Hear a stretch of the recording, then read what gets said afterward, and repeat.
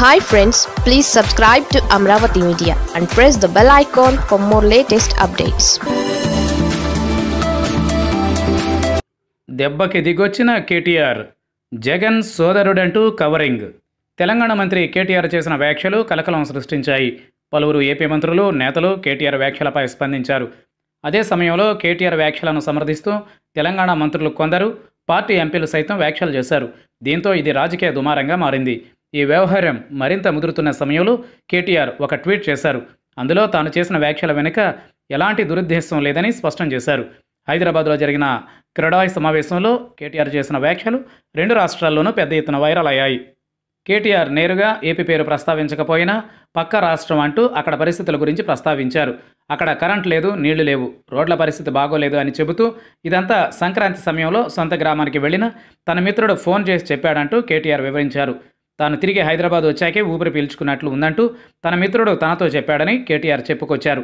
మన ప్రభుత్వం విలువ అభివృద్ధి తెలియాలంటే పక్క రాష్ట్రాలకు పంపించాలని ఆ స్నేహితుడు సూచించాడని కేటీఆర్ చెప్పారు. తాను చెప్పేది అతిశయోక్తిగా అనిపించినా లేదా డబ్బా కొడుతున్నానని అనుకుంటే మీరు ఒక కారు వేసుకుని వెళ్ళి చూసి రండని మంత్రి సూచించారు. ఇక దీంతో ఏపీ మంత్రులు వరుసగా మీడియా ముందుకు వచ్చారు కేటీఆర్ వ్యాఖ్యలను తప్పుబట్టారు. హైదరాబాద్ పురోగతిలో ఆంధ్ర ప్రాంతవాసుల కష్టం కూడా ఉందంటూ వ్యాఖ్యలు చేశారు. ఏపీలో అభివృద్ధి ప్రత్యక్షంగా చూడాలంటూ కేటీఆర్ను ఏపీకి ఆహ్వానించారు. ఏపీ మంత్రి బొత్స తెలంగాణలో విద్యుత్ అంశంపై మాట్లాడగా మరో మంత్రి రోజా కేటీఆర్ ఏపీకి వస్తే తానే మొత్తం రాష్ట్రం తిప్పి చూపిస్తానని చెప్పుకొచ్చారు.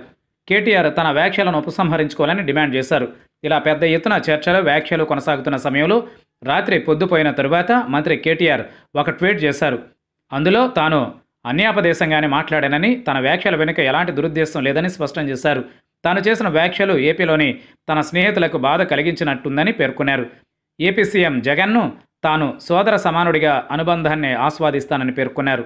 ఆయన నాయకత్వంలో రాష్ట్రం అభివృద్ధి చెందాలని మనసారా కోరుకుంటున్నానని కేటీఆర్ తన ట్వీట్లో స్పష్టం చేశారు. దీంతో ఈ వివాదం ముగుస్తుందని భావిస్తున్నారు.